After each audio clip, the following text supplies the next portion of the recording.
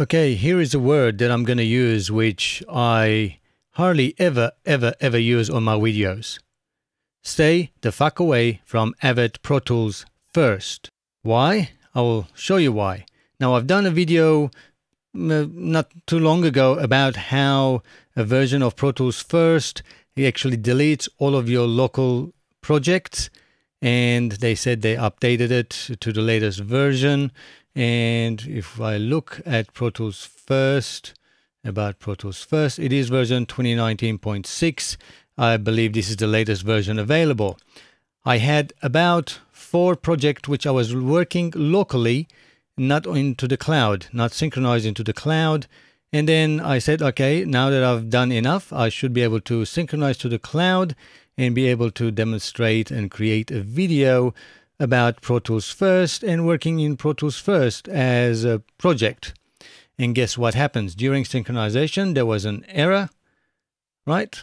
And now if I say start collaboration, I open, my project list is empty.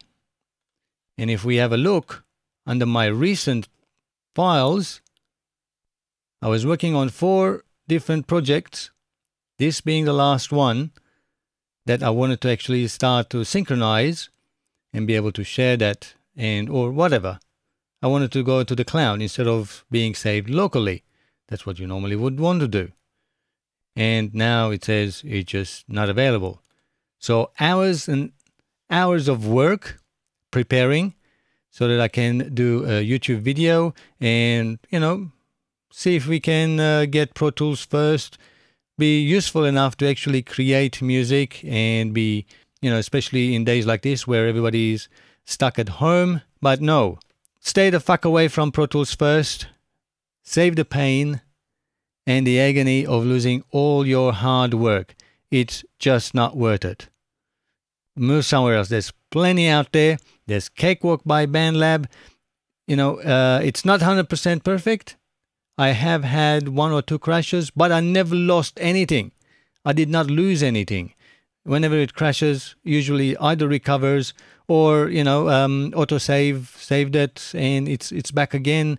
Maybe I will have lost my last one or two um, movements and so on. But you know, here we go. Not only one project, but four projects that I was working uh, here. They all gone. You know, I try to log in, you know, project list is empty. It says Vatche is offline, but sign out, but I should be online. I'm pretty sure I'm logged in. Otherwise, it won't let me do any of this shit. Um, so I don't know what is happening. It says I sign in. Connect to the internet. I do fucking have internet. And I do have internet. It's my internet. There you go. All works perfectly, no problem. So I don't know what the problem is, whether Pro Tools cannot connect to the internet and delete all my projects, whether they come back, I don't know. But I'm so frustrated after four hours of working on it and setting it up for a video. Uh, it's all gone. Anyway, I hope uh, you guys just um, avoid this um, headache and move to something else.